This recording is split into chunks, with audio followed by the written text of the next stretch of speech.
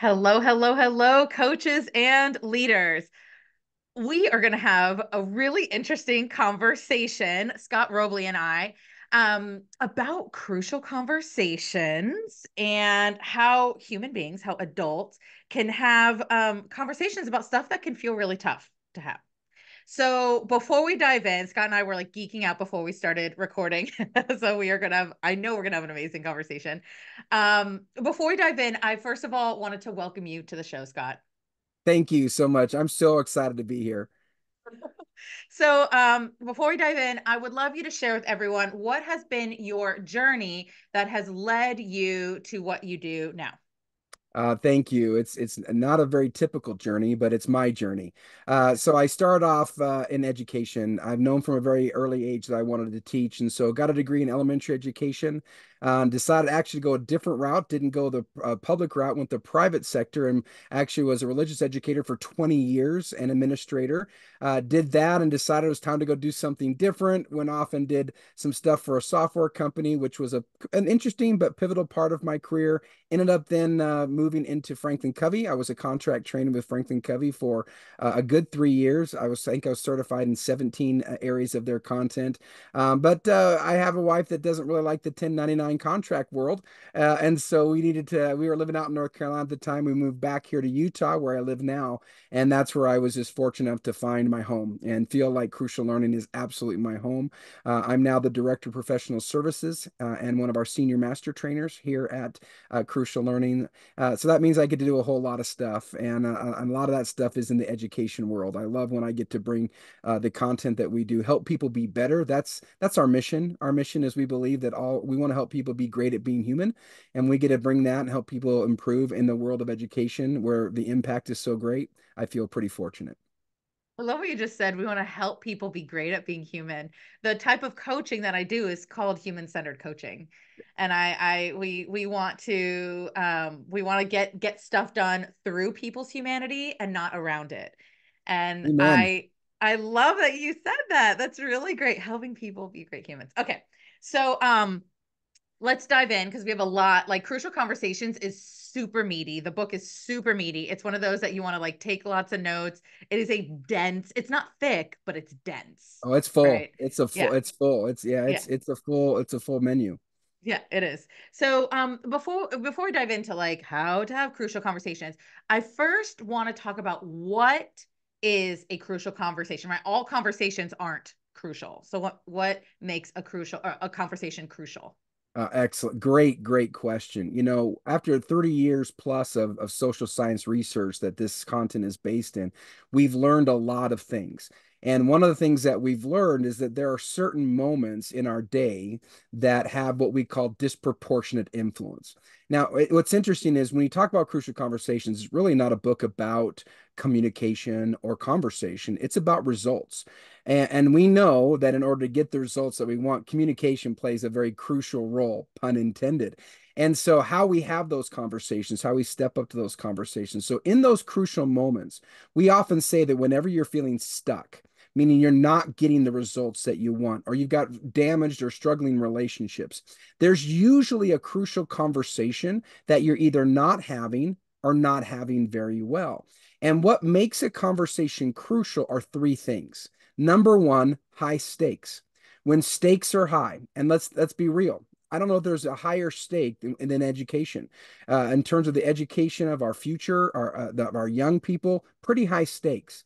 You add to high stakes opposing opinions.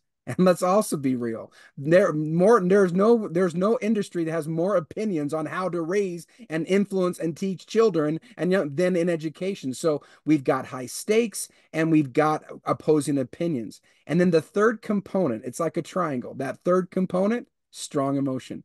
When you add strong emotion, man, you've got a crucial conversation. And what's interesting, you know, in a traditional like corporate world, you know, what percentage of, of a daily, uh, weekly conversations are crucial? I don't know, 10 to 15% on a bad day.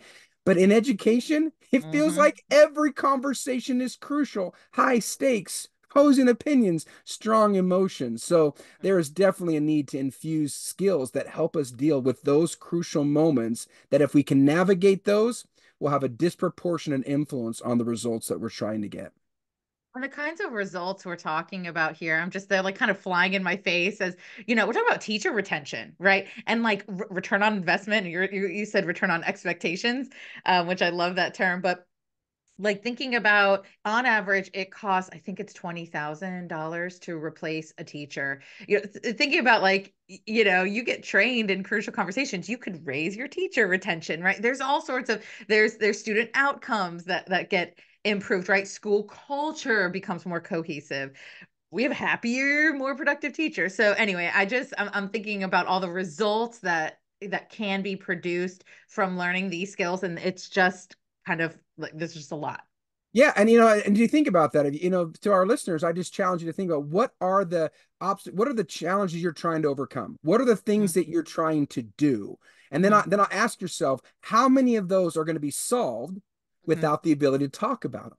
Right. Zero. There's not a right. single one. I don't care what you're trying to accomplish. If you don't have an ability to talk, whether they have to do with parents and teachers, whether they have to do with teacher and teacher, whether you're trying to speak to your administrators about your concerns, whether as administrators you're trying to get teachers to do the things that they need to do. I mean, it doesn't matter. None of our life's problems will be solved without the ability to talk about them. Yep. Agreed. Oh, I love this. Okay. So moving into crucial conversations i would love you to share what are you know you've been working you've worked with a bunch of schools over the years. What are some examples of um, situations that people have had to have crucial conversations that's a really you know th- there are so many. I mean i almost be like what what would not be?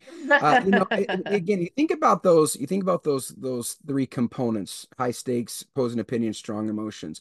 You know what's interesting is i've been removed from the educational world for for for quite a while now in terms of like being in it. Uh, we support it we're not. But my wife actually serves as a student advocate at our local high school and and so i get to hear a lot of the stories and, and, that she brings home and a lot of the the things that she's dealing with. And and it it, it really varies uh, from you know a a counselor trying to work with a teacher who's trying to help a student and when they don't see eye to eye. And that's you know one of the biggest challenges that we face is in the is in these opposing opinions what you think is the right result or the best course of action to help a student is not necessarily what the other person. So from counselors dealing with teachers advocates trying to work with parents eh, parents have a different perspective and opinion about what and how their children should be served. And and so there's it there's so many and it seems like some of the some of the most common really are internal it's like how do we as teachers build build this that realize we're on the same team? And how do we help each other and support each other? Uh, so a lot of internal uh, conversations peer to peer and it, and it, what's interesting is it's it's top down it's top up. How do you speak truth to authority? How do you speak truth when you see it differently when policies and procedures are coming? New ways of doing things are constant. I mean i would i don't know how well i would survive in the world of education today because how we did it back then is not how we do it today and how we're going to do it tomorrow will also be different. So adjusting to helping people make changes adjusting to um, how we how we deal with a whole new level of, of youth. I mean, COVID did a did a number on our young people in terms of how they show up at school, and and and that's forced our teachers to have to be a little different. And so those are some pretty important conversations. And if you can step up to those, and um, you know, the challenge becomes um, that with these difficult conversations is how do we help people feel safe to mm, hear yeah. our message we yeah, you know yeah. we often say that it's not the difficulty of the message that matters it's how mm-hmm. safe you can help the other person feel uh, to hear the message I was literally thinking about the two elements needed to create a safe, uh, safe conversation, mutual respect, and mutual purpose. And um, and I have other language that's outside the book, and that creates mutual engagement. I love it. I love and, it. That's really the goal, right, right? Yeah, the goal is mutual engagement, which um, often is called buy-in, creating buy-in. But I, I love mutual engagement because it's mutuality instead if i'm going to have you buy into the change i've decided right there's kind of a unidirectional i've i've decided something i'm going to get you to buy in which often honestly happens in schools because decisions are made up top um and then i'm i'm going to kind of have you you know want to do this thing that someone else has chosen. Yeah, but no, for sure. Yeah. but I, mutual love, engagement is that's yeah, what it's all. I mean, for us, it's not conversation for Mm-hmm. conversations. It's Mhm. about action.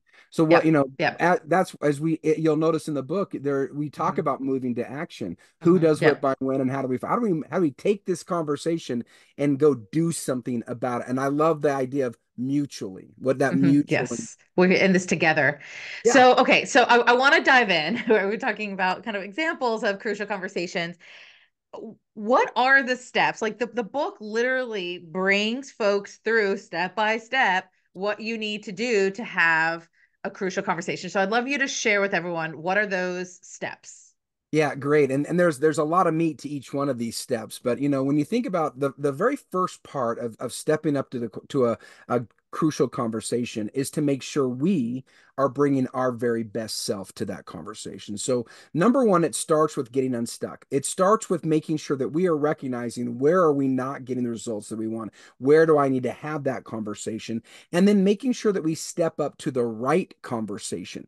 You know, for many of us, we may feel like Bill Murray in Groundhog Day, having the same conversations over and over and over again, and especially as parents. And so sometimes it's not them, it's us. You know, there it's like a it's like a, a weed, and there's a root to a weed. And if we don't, if we just mow over the top or we just pull off the top, we don't get to the root, the problem never goes away. So often, you know, when you think about, we use an, an acronym CPR, content, pattern, and relationship. And so we often just want to speak to a content problem when when a, a single instance, something happens. And then over time, if we don't speak to it, it becomes a pattern. And then if we don't speak to that, then pretty soon it comes to the relationship, you know. So then we have to ask ourselves, what is really the issue here? And if it's a relationship issue, that's what I need to speak to. We'll get to the content. You've come late to to work five times in a row or what. But right now, I'm I'm not sure that I can, I'm feeling I can trust you. So we want to make sure that number one, the first step is stepping up to the right conversation. Once we have that identified, the next is probably one of the most important and most powerful skills that people take away from the book or from our training, and it's the idea of mastering our stories. You know, the, the biggest challenge and biggest barrier to having a good conversation is emotion. And so we have to understand where those emotions come from. And there is a very simple path to action. What happens is, and we all follow it, we see or hear something, we experience it, and instantly we tell a story. We get into interpretation mode. We make assumptions. We puzzle. And unfortunately, that story creates a very powerful emotion. And then unfortunately, what do we do? We act on that emotion. And so the, the key is to master those stories, to recognize those are stories, and to kind of get behind them. I, I love to share the quote from the movie Christopher Robin, Winnie the Pooh, very profound. And in the movie, Winnie the Pooh says, to get where I'm going, I walk away from where I've been. It's like, whoa, deep thoughts from a stuffed bear. to get where we want to go, to get to the results that we want, whatever we're seeking, we have to walk away from the stories that we're telling ourselves that, that are creating the emotions. And it's not whether or not that story is true or not. That's not the point. It's about the emotion that it brings. And so you've got to learn to learn how to separate facts from stories, how to get yourself out of that emotion that the story tells. And mm-hmm. then once you've done that, once you've mastered the story, now it's time to initiate the conversation. And there's a couple really key factors. Number one, we always say start with heart. You know, the first thing that breaks down when emotion kicks in, it's not behavior, it's our mm-hmm. motive. Our motive will change. We go from wanting to make a difference to helping other people to I want to be right and I'm going to win and I'm going to you know and and it just it happens. And and so we've got to make sure we focus on what do we really want.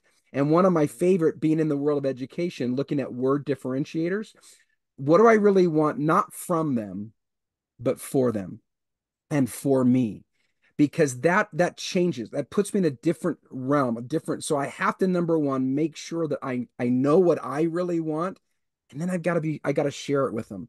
I got one of the greatest ways we create safety or at least to diffuse people from getting defensive or from misunderstanding what i'm trying is to share with them this is my motive. Hey Becca i want you to know that i'm not here to throw you into the bus. I'm not here to cause a problem. I would like to talk about how we can use the process that we've been asked to use in a more effective way oh oh that's my intent I know what I really want for you, for me, for the school, for the, and I share it. I often refer to it as our leadership blinker. If we don't use our blinkers enough, then they don't know and they make assumptions that can cause some collisions along the, the way. And then once you've done that, a very simple framework facts, story, ask. You start with facts. This is what I've noticed. This is what I've seen. These are the things that I've observed. Then you tell your story. People always say, "But Scott, you just told me to master my story." Yeah, you can share it now because it's mastered. It's what it's your interpretation. Hey, I noticed that you came late a couple the last four times. I'm starting to wonder if maybe there's things going on in your life. Are that that's my story? And then I ask for their insight. Give me their meaning. Can you help me understand what's going on? Now they have a, a framework. I will say this: when we talk about us initiating a conversation, one thing I always try to emphasize is there's only we call it sharing our meaning because in the in the middle of our model, if you remember in the book, mm-hmm. is a pool of shared meaning, often maybe referred to as the group IQ. I want as much meaning in that pool as possible. So I tell people everything we do to share our meaning and to put in the pool is for one reason only. So that others will do the same. I'm not I'm not trying to convince you, I'm not trying to convert you, I'm not trying to I'm sharing my meaning so you'll share yours. And if I do it effectively, then they'll reciprocate in kind and that pool will get really full of meaning and now we can have a really really rich dialogue. That was a lot.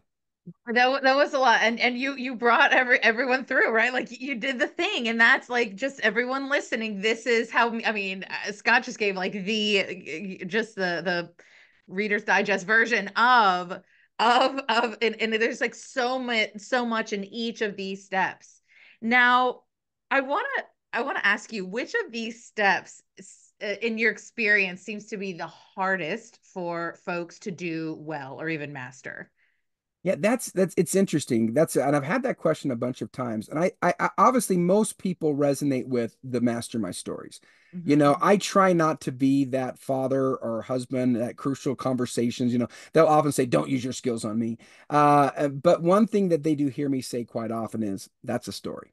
That's mm-hmm. a, I think we are so entrenched. We are mm-hmm. we live in storyland, and and what happens is, for example, if we t- we might tell ourselves a story all the time. If if someone is interacting with us and they're aggressive, and, and then mm-hmm. they might then you might say, "Man, you're really aggressive." Well, and they'll be like, they might go, "No, I'm not." They get defensive, or even if they're open, they might say, "What do you mean?" Because what does mm-hmm. aggressive look like? It looks different for every single person. Yeah. Now, we are so we're so convinced that that we know what it looks like. I've mm-hmm. seen mm-hmm. what, what some when someone's aggressive that we marry them so much that that our our story in our mind becomes a fact. Mm-hmm. And so mm-hmm. one of the hardest things to do is to separate facts from stories. And I have a really, really cool example when I was teaching.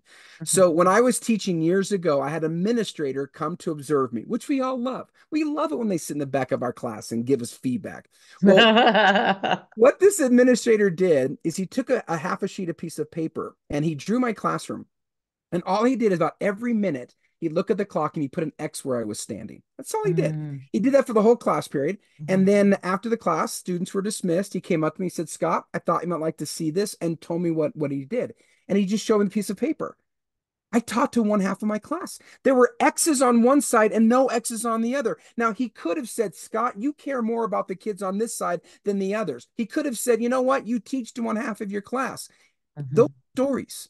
And I could have gotten worked up. I could have been like, no, I, I get defensive. I couldn't. There were no emotion in facts. I looked at that piece of paper and went, holy cow. Fast mm-hmm. forward second period. He took the second half of the piece of paper and the top of the paper, he wrote teacher, student. At the bottom, he wrote teacher, student. And all he did throughout that class period was track questions. Who asked him, who answered him? Who asked it, who answered? That's all he did. Just track it. Into class. Students were dismissed. He came to me and said, Scott, thought you might like to see this. Told me what he'd done, showed it to me. Mm-hmm. I, I love the smartest one in the class. I was I answering all the questions. And he mm-hmm. there think about all the stories he could have told me, his own interpretations. He didn't. He just said, here's what I saw. Here are the mm-hmm. facts. And man, Mhm. I'll, I'll tell you what, from that point on, I am very mindful. That was that was over 25 years ago.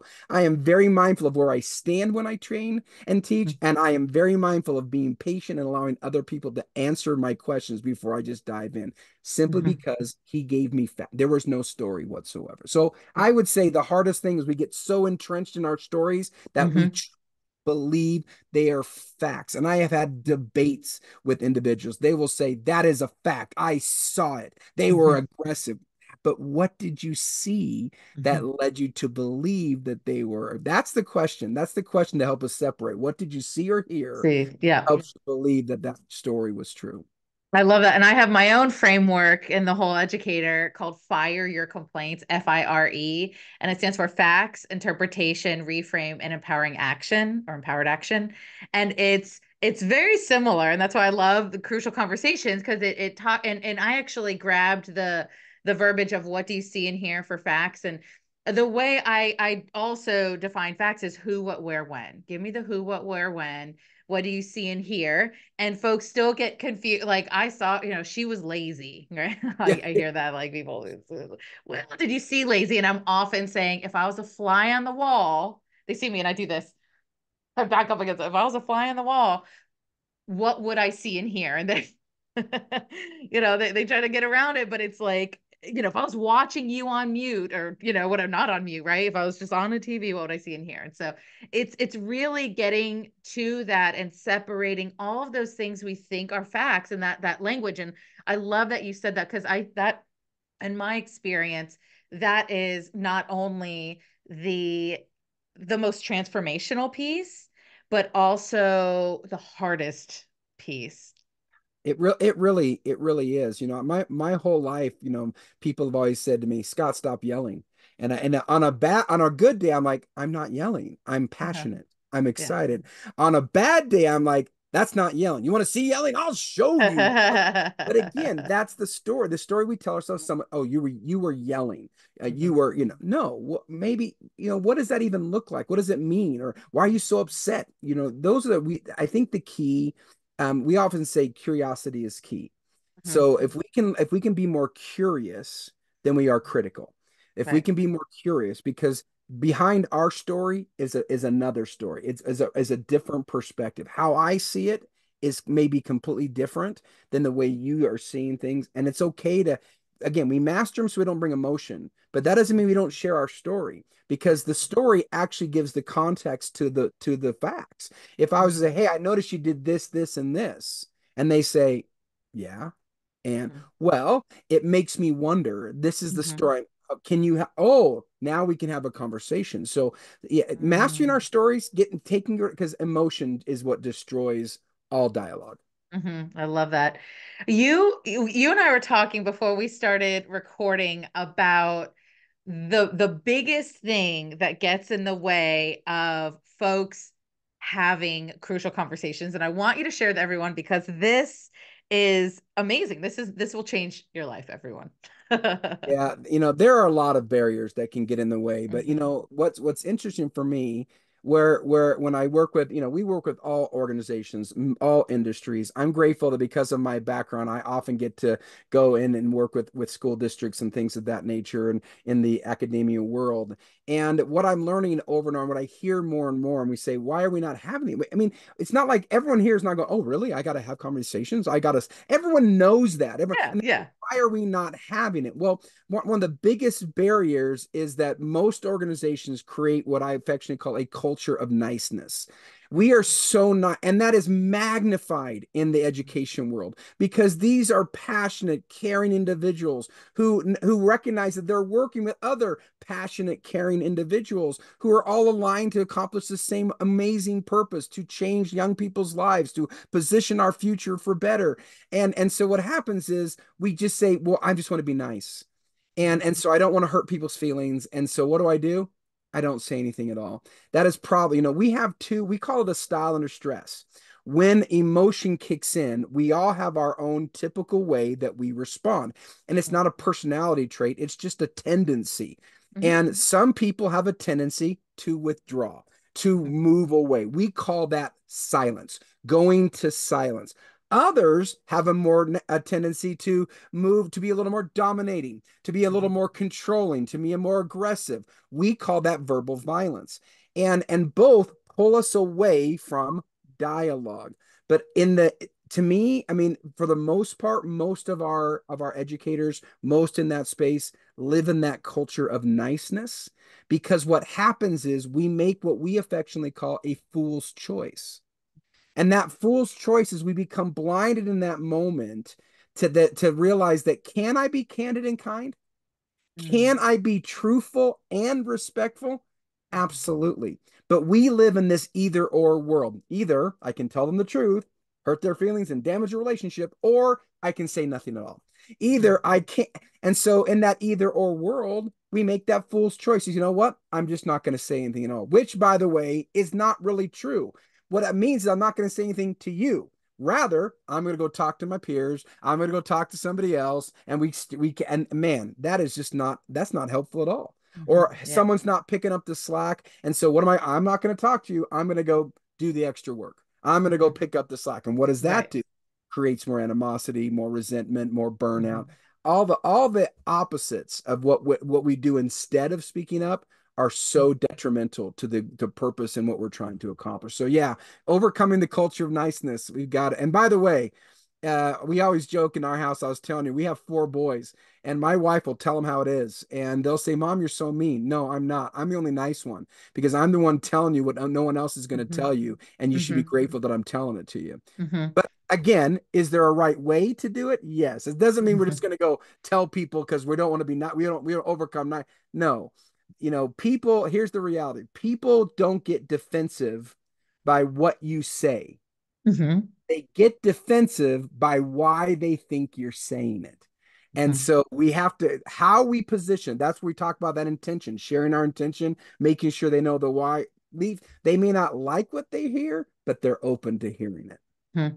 And I, I want to put that that is something I very much highlight in a lot of my workshops uh, that people don't get defensive by what you say but the content but but why they think you're saying it. And i think the poignant piece of that is isn't it's not i'm going to say it because there's a piece that needs to be heard. It's not why you are saying it it's why they think you are saying it. Uh, so exactly. it doesn't matter if you have good intentions. It does not matter if you have good intentions. It matters if they know your intentions uh, so- absolutely. Years ago, my second son was getting married, and about two weeks before the wedding, my wife says, "Do you have a suit that fits you?" Now, again, what did I hear? I heard you're fat you know and so years ago and so again she her intentions were good her intentions yeah. were pure but i heard you think i'm fat you don't think i was suit that fits me yeah so excellent point what it's what we what they think what i you know mm-hmm. great call out great call out back yeah yeah and and that's you know speed of trust which i know scott you love as well um, talks about we need to be part of building trust is we need to be transparent about our intentions. It really, and I I, I say this a lot. I'm going to say it's probably the fifth time just in this episode, which is it.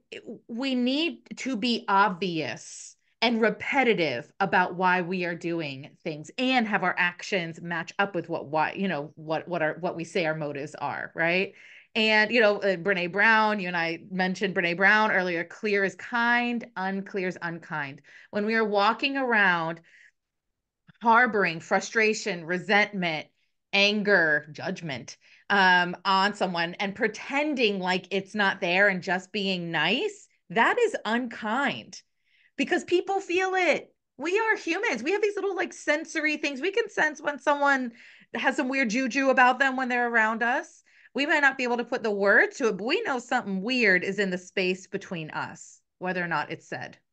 You know, it's funny. You know, I mentioned a little earlier this idea of the leadership blinker. Um, I had a really powerful experience years ago in North Carolina uh, mm-hmm. with my with my third son, who was then 15 years old, learning how to drive. And it was Christmas Day, Becca, and we had gone to see a movie as a family.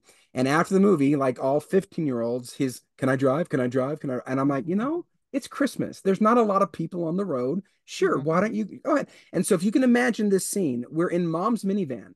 15 year old's driving. I'm in the passenger seat, baby brother in the car seat behind him, mom next to him, and two older brothers in the back. We got the whole family. And while we're driving home, this 15 year old son of ours demonstrated, he showed us, he proved that you can, it is possible to make a left hand turn without signaling. You do not have to signal to make a left hand turn. And he demonstrated that ability at an intersection when the light turned yellow.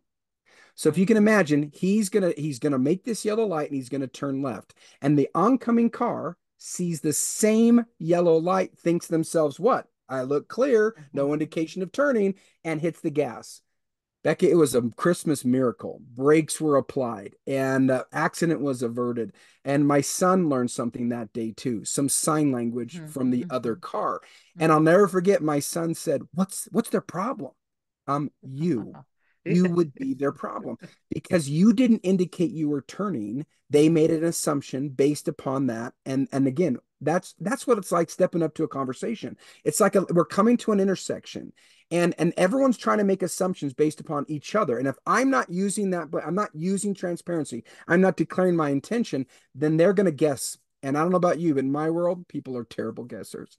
They yeah. never give me the benefit of the doubt. So I can't emphasize enough the, mm-hmm. the importance of that kind of transparency. But it starts with me knowing what I really want. I've mm-hmm. got to be really clear on what I want for them, again, not from them. Mm-hmm. And I've got to share that and I've got to share it often because they'll forget when emotions get strong. I lead a mm-hmm. I lead a small team as I mentioned, and sometimes you got to give feedback that's not the kind of feedback you want to give to them. But mm-hmm. I I can do it because why? Because I know what I want and mm-hmm. they know what I want. I want for them to be the very best version of themselves. I mm-hmm. want for them to make their biggest and best contributions. I want them to stand out and shine. I really mm-hmm. do.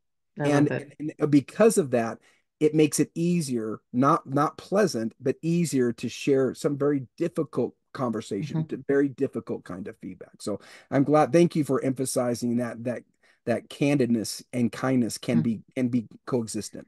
Yeah, absolutely. I love it. Okay, this has been such a fun conversation uh to have with you. And I feel like you and I could talk for hours more. I know, we, this is awesome. we do have to wrap up. So um where can folks find you and crucial learning, you know, and, and the work that you do to learn more? Yeah, thank you. Probably the easiest place is to go to cruciallearning.com. We have incredible resources. We even have an incredible YouTube channel. You can go to our YouTube channel. We've got great videos that show examples of, of what how to have conversations. Uh, but yeah, cruciallearning.com is a great place to go. You can always look for me on, on LinkedIn as well.